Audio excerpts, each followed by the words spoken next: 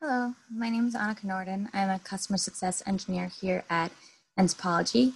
Today we're going to be looking at a very simple parametric microfluidic chip design. And so today, as I just mentioned, keeping it pretty simple with a Y mixing microfluidic chip, um, but just thought this was a great example as we start to explore microfluidics and whatever kind of design comes within that realm. So just kicking off this with a very simple Y mixer that we have here. Um, as you see, I built up this file here and we have a few different inputs that we're working with.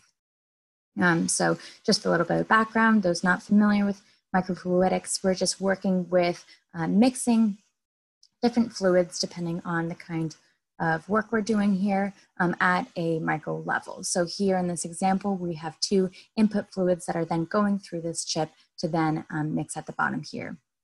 And with this visualization that I have here, I have two separate plates that would be put uh, potentially printed separately.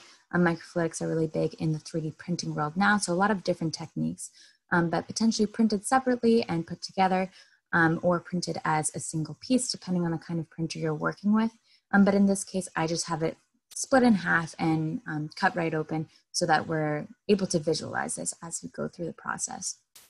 But as you see here, we have a variety of different inputs, looking at the plate diameters here, looking at how we're shifting these points inwards and outwards, the radius of these different channels or these different openings that we have here, and as well as the diameter um, of our channels. We have start points, um, the number of intermediate points and end points, as well as a magnitude and period. We'll get into that a little bit later. But as far as how this is actually built up with the blocks, so I start with um, a simple box.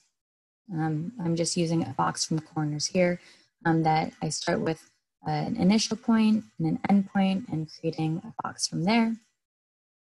And then here you see I have a little bit of point work. So as we mentioned before, I have those input points. Here we just define two. I have my single intermediate point and my single output point. Um, and then here you see all of them together.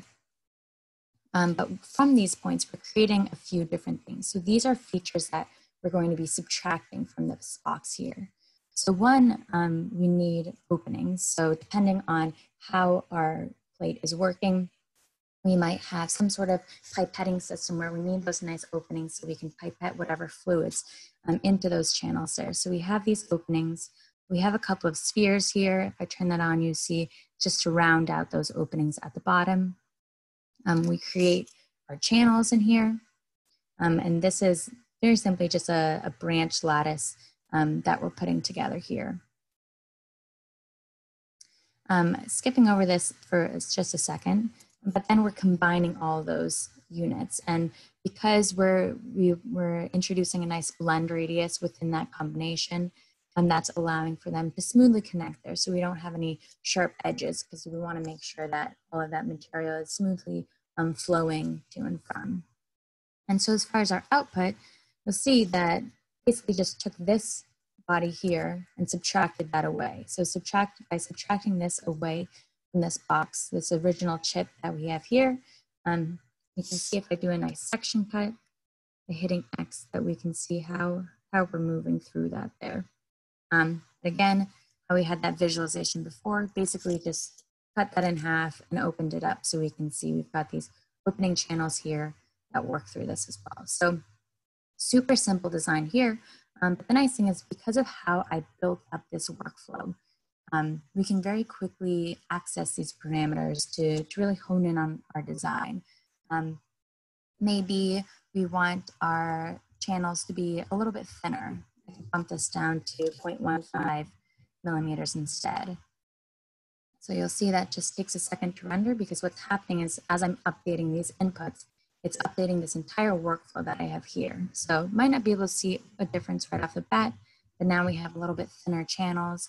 Maybe we're working with um, different amounts of, of, input fluid. So perhaps I could um, bump this up a little bit.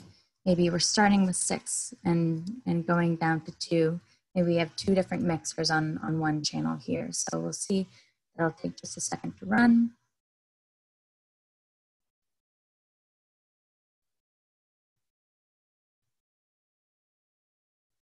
Once that runs there, you see we have it nicely updated. Maybe we've got a little bit of cramping. We don't like how those are interacting. So we could take that width, bump that up a little bit as well. So you can see here how quickly we can look at these parameters, look at these different um, design inputs and, and iterate through our design in that kind of way. Um, those who are within the world of microfluidics, you know those exact um, design techniques and parameters are important for building things like this. Um, maybe if we added the length and you're giving it more time for those fluids to mix together, um, and can really change things around from there. Um, but what I think is also fun to explore is a little bit of remapping. Um, I'm just gonna control Z back a few times so we can get to that original state that we had. Here we go. Taking just an extra second. Um, let's see, let's plug this back up again. And so this is a super simple design here, but with a little bit of remapping, we can add um, a little little wave to this channel here because that helps with mixing as we're mixing these two different materials here. So you'll see I have this magnitude and period.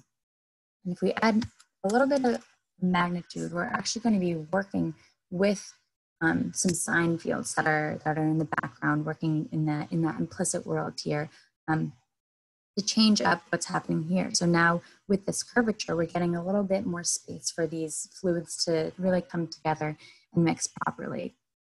Maybe we want to bump up the period a little more often. And for a little sneak preview of actually what's happening behind the scenes, we've got this remap field block. So what I'm doing is I'm bringing in um, this section of my channel here. Um, this is basically just a branch lattice that I thickened. Um, if I turn that visibility on, you see we've got that original channel here.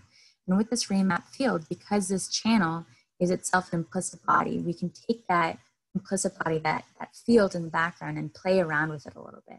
So with this remap, we're keeping that X constant, we're keeping the Z constant, but as we're going along the Y direction here, we're bringing in um, a little bit of our math operations here to work with that sign field and give it, oops, don't want that visibility on, um, to give it, to play around with it a little and get some, some fun uh, geometries here that actually help within, within the mixing world. And so maybe this is something that I want to study. Maybe I want to um, take this single workflow to the next step and, and work with it a little bit more. And then I can actually do that um, because uh, with our custom block functionality. So actually, I may jump, jump back here. So we see I have this whole workflow in the background, but I also have these key parameters that I know I'm going to want to change around a little bit. And so what I can do is I can define what my output is going to be. And for visualization purposes, my output, I want this open channel.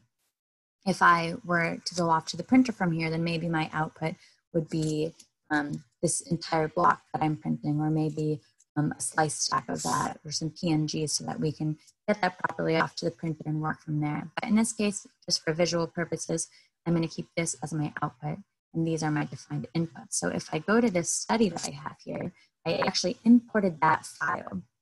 And by importing that file, I'm allowing myself to access this microfluidic chip block and you'll see by that double line that it's a custom block, something that I created. And so what I did was I populated three of these chip blocks, changed them up a little bit. Also, you'll notice I use a translate object just for a nice visualization. Um, but now we can see as I go through and change um, these different parameters. Maybe I want this uh, to be a little bit thinner of a channel diameter.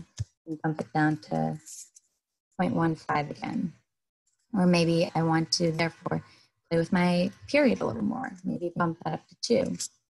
Then we can still have this nice clean custom block that is just showing me my important parameters and running that whole workflow in the background. So then I can have this whole family of chips that I can really look at and compare, maybe export a bunch at once, maybe do some simulation from there to really understand how these are working. But by using these nice custom blocks, and we can quickly hone in on, on these key design features to get exactly what we're looking for. So yeah, um, these, these files will be shared, so feel free to explore, um, reach out if you have any questions, any microfluidic um, experts out there, uh, feel free to reach out and we can learn, I can learn from you, we can learn within the software to, to really make the most of, of these workflows within nTop. But thank you.